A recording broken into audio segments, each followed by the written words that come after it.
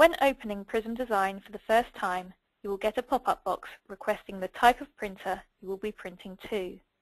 This is to make sure that the right printer driver will be used. The correct printer driver can also be chosen by going to File, New and click Printer and selecting your printer in the Select Driver window. To get started, you'll need to create a blank format for your label. Go to File, New, and click on the Formats tab. The Design Properties box will appear. Here you can set the properties such as temperature and speed. If you want an exact size, click on the Edit label and enter the measurements. I'll make this one 60 times 30.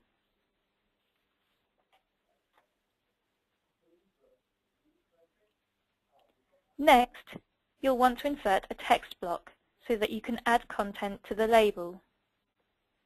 To do this, you'll need to go to the Home or Blocks toolbar on the ribbon, click True Type Font, and then click and drag the text block to the desired size.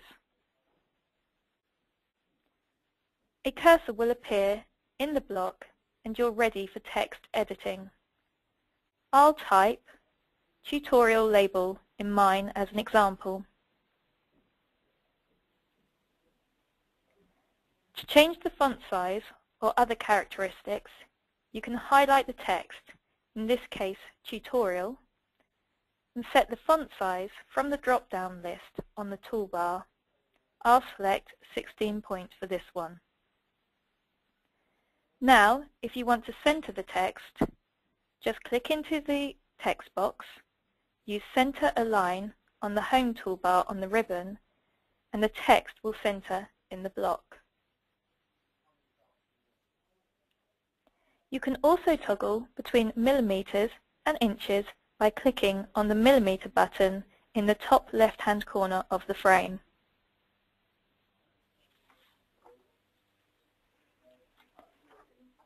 To frame your text block, go to the Home or Blocks toolbar Click on Shape and then select either the circle or square shape.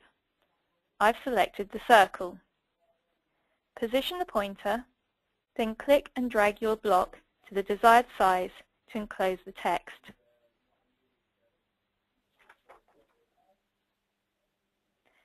Now, we'll look at how to add a picture to your label. On the Home or Blocks toolbar, click the Picture block and then click in the lower center of the design. An Edit Picture dialog box will open and allow you to edit the picture block.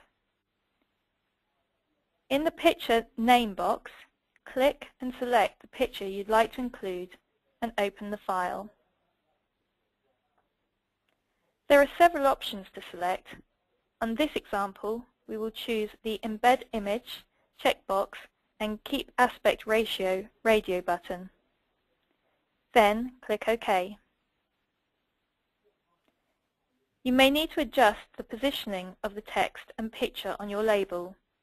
Press Ctrl and A keys to select the text, circle and picture block at the same time. On the Blocks or Home toolbar, click on Align and select Center Horizontal and it will align the blocks with each other.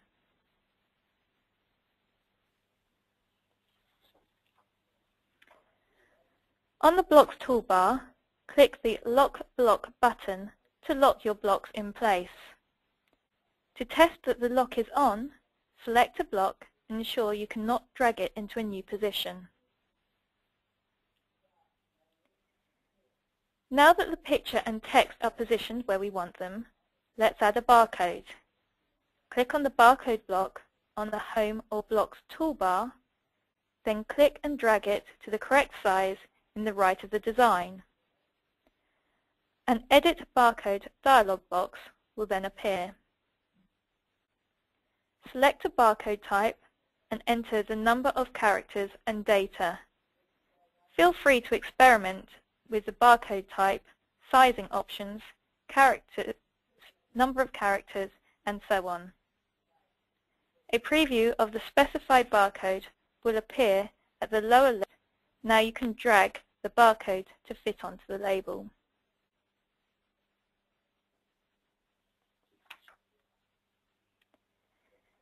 To configure your system further, simply click on Options and Application in the right top hand corner of the screen.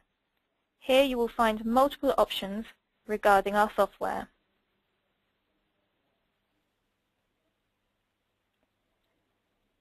You may want to test print your label at this point before saving it.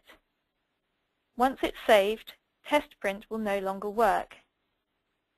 It's as easy as going to the Quick Start toolbar and clicking Test Print. Save your format by clicking the Save button.